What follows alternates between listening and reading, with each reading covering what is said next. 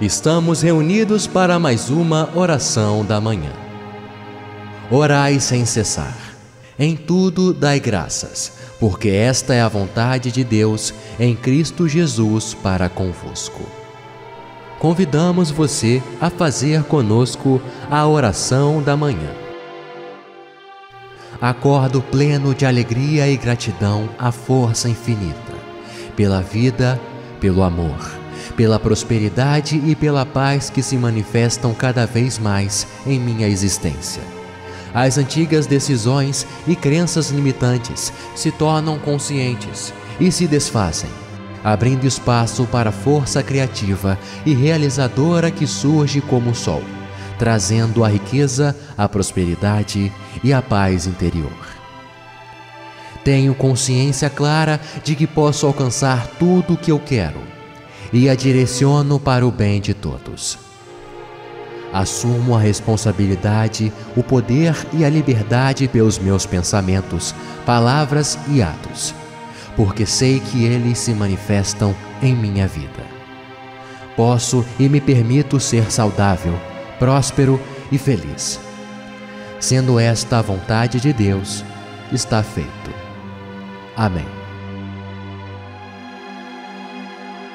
Salmo 91 Aquele que habita no esconderijo do Altíssimo, à sombra do Onipotente descansará. Direi do Senhor, Ele é o meu Deus, o meu refúgio, a minha fortaleza, e nele confiarei. Porque Ele te livrará do laço do passarinheiro e da peste perniciosa ele te cobrirá com as suas penas, e debaixo das suas asas te confiarás. A sua verdade será o teu escudo e broquel. Não terás medo do terror da noite, nem da seta que voa de dia, nem da peste que anda na escuridão, nem da mortandade que assola ao meio-dia. Mil cairão ao teu lado e dez mil à tua direita, mas não chegará a ti. Somente com os teus olhos contemplarás e verás a recompensa dos ímpios. Pois tu, ó Senhor, és o meu refúgio. No Altíssimo fizeste a tua habitação. Nenhum mal te sucederá, nem praga alguma chegará à tua tenda porque aos seus anjos dará ordem a teu respeito, para te guardarem em todos os teus caminhos. Eles te sustentarão nas suas mãos, para que não tropeces com os teus pés em pedra. Pisarás o leão e a cobra. Calcarás aos pés o filho do leão e a serpente. Porquanto tão encarecidamente me amou, também eu o livrarei poluei em retiro alto, porque conheceu o meu nome. Ele me invocará, e eu lhe responderei. Estarei com ele na angústia, dela o retirarei e o glorificarei. Fartá-lo-ei com longuras de dias, e lhe mostrarei a minha salvação. Salmo 121 Levanto os meus olhos para os montes e pergunto: De onde me vem o socorro? O meu socorro vem do Senhor, que fez os céus e a terra. Ele não permitirá que você tropece. O seu protetor se manterá alerta. Sim, o protetor de Israel não dormirá. Ele está sempre alerta. O Senhor é o seu protetor como sombra que o protege. Ele está à sua direita. De dia o sol não o ferirá, nem a lua de noite. O Senhor o protegerá de todo o mal, protegerá a sua vida.